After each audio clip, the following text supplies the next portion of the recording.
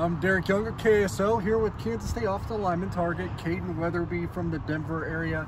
Uh, Kaden, kind of just update us on where your recruitment currently stands right now at the Wildcats and some other schools.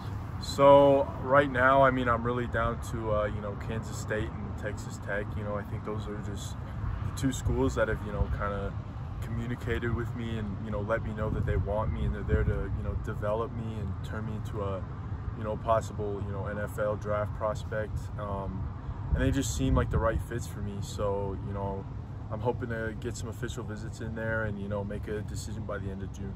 Okay, and when when are some of those scheduled official visits? Because I know you already got some in the plans. Yeah, so uh, I'm going to Kansas State, I believe the 17th of June or the 18th of June uh, for about two two or three days, Mm-hmm. uh, and then I'll go to Texas Tech on the 11th of June to the 13th of June. Okay, so Texas Tech comes first, Yeah. and then Kansas State. Yes. How quickly after that do you imagine yourself making a college decision? Because those are probably the two things you need to get out of the way first.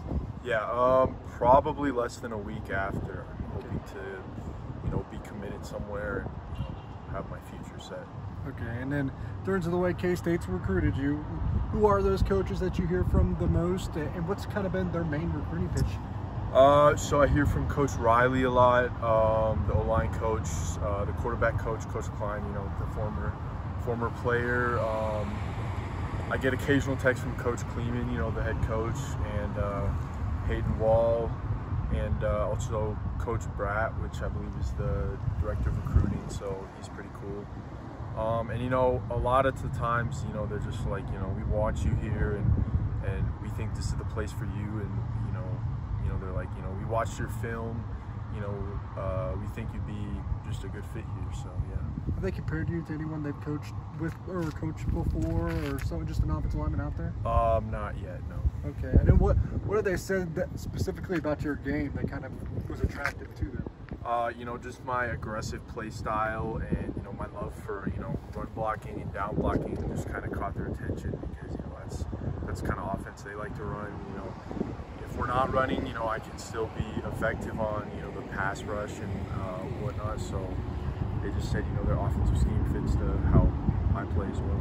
Just offensive tackle, or left tackle, right tackle? Uh, they said, you know, uh, I've played both left and right sides before, so um, they said I would be a good fit at, you know, almost any position but center.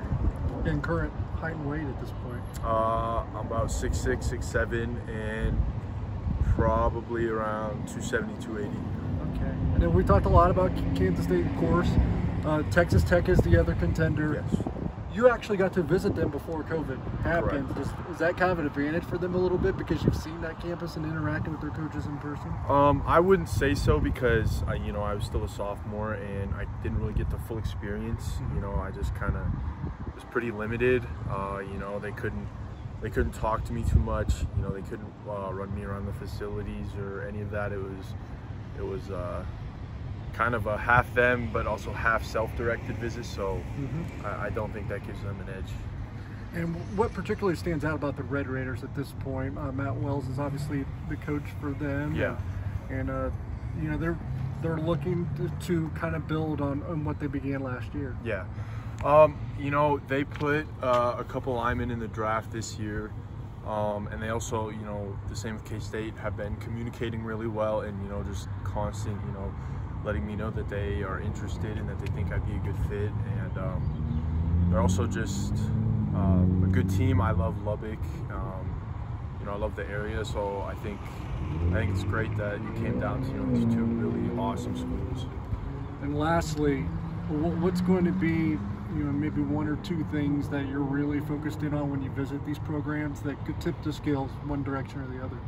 You know, I think it's going to be a lot about the atmosphere and, you know, just how I feel, not exactly, you know, the physical, you know, what's there and what's not. I think it's just going to be, you know, how I'm feeling, um, you know, how the people are, how the people treat me, um, and just the players as well. You know, I'll, I'll get to uh, hang out with some of the players, and I think, you know, the kind of, you know, feeling and you know thoughts that I get from them, I think are going to also be a huge uh, impact on where I go. All right, he's Kaden Weatherby. Thanks for your time, of course, and stay tuned to KSL.